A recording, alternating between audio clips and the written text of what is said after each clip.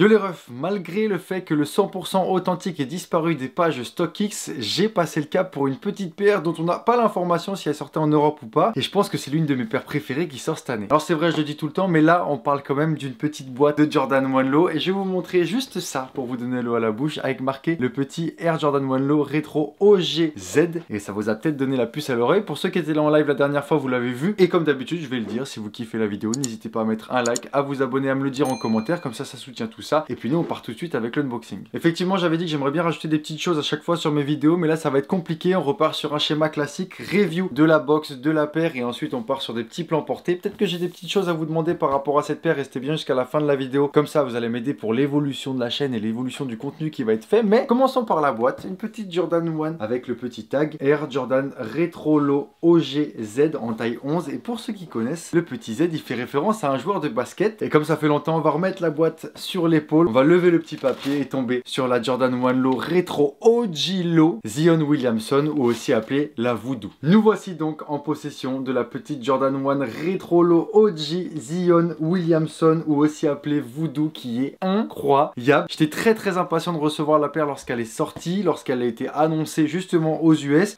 non, non, regardez, regardez, attendez, faut que je vous montre tout là. Regardez-moi ça. Deux petites paires un peu différentes dans les tons un petit peu Travis, mais ça on va en reparler juste après. La paire est incroyable et commençons par la paire droite avec la petite Gumsole. Vous connaissez mon amour pour ceci. De toute façon, vous commencez à être un petit peu habitué avec la semelle. La semelle intermédiaire, plutôt blanche. Je croyais qu'elle était un peu crème, mais on a les surcoutures là, les petites coutures en genre de, de c'est du un peu un peu sable doré qui sont vraiment euh, vraiment cool. Un overall de paire qui est tout bonnement incroyable et je suis obligé de faire les deux parce que comme vous le voyez, les paires sont un petit peu différentes. Donc on a à l'avant sur la toe box bah, du marron. Ça, ça va pas changer sur les deux, mais par contre, vous voyez que au niveau de la perforation habituelle, on a comme des petites croix. Je sais pas si vous allez bien le voir à l'écran, qui ont été mises et je trouve que le délire est vraiment poussé jusqu'au bout sur la paire, parce qu'on va retrouver le vaudou également sur plusieurs choses. Déjà, on a le petit personnage juste ici, on a, euh, je sais pas comment on pourrait dire, des points de suture un petit peu, qui ont, des points de suture qui ont été mis au niveau du swoosh à l'extérieur, aussi également avec cet empiècement là, ou des petits euh, scratchs qui ont été mis euh, sur la paire. Regardez, là il y a un, bonhomme un petit peu différent également ici. Et sur la paire, on a un sacré, sacré jeu de matière. Alors j'arriverai pas à vous dire le nom des matières, mais là regardez-moi ce mini swoosh à l'envers, il est,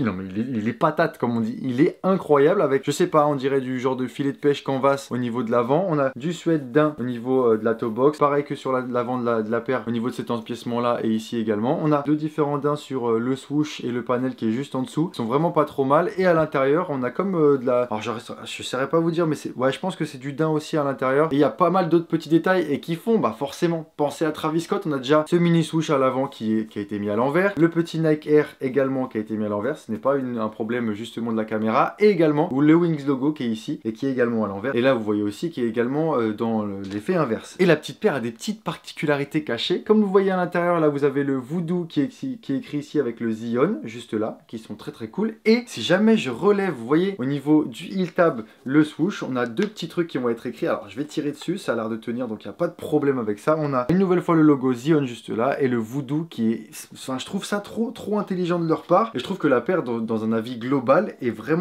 vraiment bien travaillé, vraiment bien poussé. C'est tellement poussé que j'ai dû chercher sur internet pour être sûr de savoir pourquoi. Alors, elle s'appelle la Jordan Low OG Zion Williamson Voodoo. Zion Williamson est un joueur de NBA américain. J'ai peur de dire des bêtises, mais en tout cas pas français. Ça c'est sûr à 100%. Mais par contre, il joue en NBA en Nouvelle-Orléans et en Nouvelle-Orléans, la pratique vaudou est encore assez imprégnée dans les mœurs et un petit peu encore pratiquée. C'est pour ça que, en rapport avec le joueur, la ville dans laquelle il est et les pratiques ont été faites, la naissance de cette petite paire là qui est très très cool. Alors niveau storytelling, on a vu mieux. J'en ai pas parlé, c'est une des spécificités de cette paire. On a deux jeux de lacets avec un lacet un peu euh, gris qui est, qui, est, en corde et le lacet blanc qui, je trouve, rend un petit peu mieux sur la paire. Je sais pas quel est votre avis par rapport à ça, mais n'hésitez pas à me dire. Mais la vraie question que je me pose, c'est est-ce que ce serait pas une Travis Scott qui serait passée à la trappe et qui a été mise pour Zion Williamson? Franchement, entre les couleurs qui ont été utilisées sur les couleurs un peu automnales marron dont on a l'habitude de voir chez Travis, ça rend hyper bien sur la paire et franchement, bah, je me dis que ça aurait pu être pour Travis également. On a tout le délire qui a été mis à l'envers avec le mini swoosh, le tag sur la languette et le tag à l'arrière de la paire. Je sais pas, j'ai l'impression qu'en fait on a un petit peu une, Travis Scott euh, revisitée pour Zion Williamson et qui a pas été mis dans les petits papiers pour Travis et qui a été remise pour un autre artiste ou bah là c'est pas un artiste mais un artiste du basket parce qu'on m'a saoulé avec Eric Coston et qui a été mise pour un autre athlète de chez Nike. Moi je trouve que la paire est très très cool. Est-ce que ça rentre bien avec Zion Williamson? Je ne sais pas mis à part le fait qu'il joue en Nouvelle-Orléans, bah je sais pas s'il a trop des délires avec tout ça, mais je pense que bah il s'y rapproche parce que de toute façon quand Nike te propose une collab, tu dis pas forcément non. J'ai ma petite Jordan One Low Voodoo, n'hésitez pas à me dire ce que vous en pensez justement dans les commentaires. On n'a pas forcément d'infos sur la release européenne, mais mis à part une euh, raffle qui a été faite sur Foot Patrol, mais en dehors de ça, lorsque la paire était sortie en Amérique, on n'a pas eu du tout d'écho pour l'Europe, donc on verra, j'en parlerai sûrement sur Instagram, mais j'ai passé le pas sur StockX, c'était l'endroit où c'était le moins cher, et j'avais peur que ça fasse comme pour la Jordan 1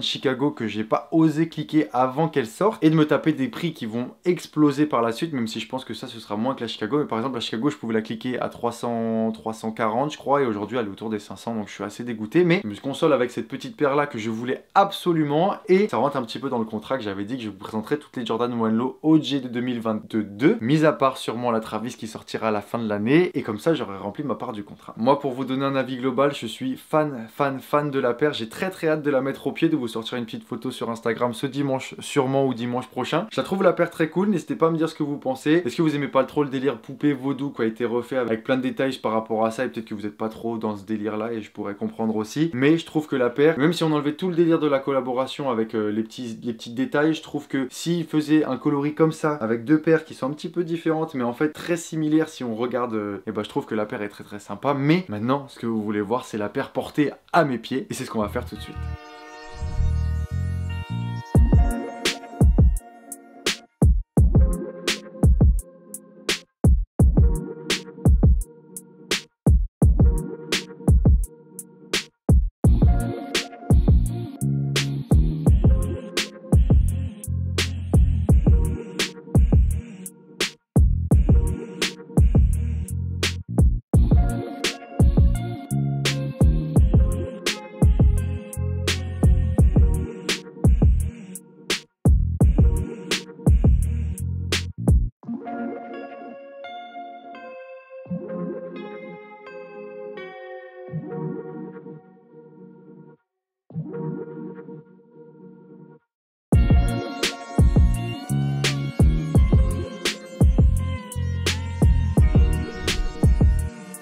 Donc voilà, n'hésitez pas à me dire ce que vous en avez pensé dans les commentaires juste en dessous. Moi, j'adore la paire. Moi, j'adore la paire. Mais est-ce que vous pensez que cette paire-là était destinée à Monsieur Travis Scott? Est-ce qu'elle a été donnée justement parce qu'il peut-être qu'il a pas validé ou une autre histoire Ou bien vous pensez que ça a été fait de A à Z comme ça, mais qu'elle aurait bien été à Monsieur Travis Scott parce que ça rentre dans ses délires? Moi, j'ai pas eu de problème avec StockX. La paire s'en Nike. La boîte est tout à fait normale. Pas, j'ai pas vu de choses qui m'ont choqué sur la paire. Même on pourrait lancer un legit check pour voir si justement la paire est legit, mais je pense que ça devrait le faire. N'hésitez pas à débattre avec tout ce qu'on a dit justement dans la vidéo dans les commentaires, à mettre un like si ça vous a plu, à vous abonner pour ne pas rater les prochaines vidéos qui sortent tous les vendredis à 18h et j'espère vous préparer du lourd pour la fin d'année. Faites attention à vous, il fait froid donc couvrez-vous, portez-vous bien. Ciao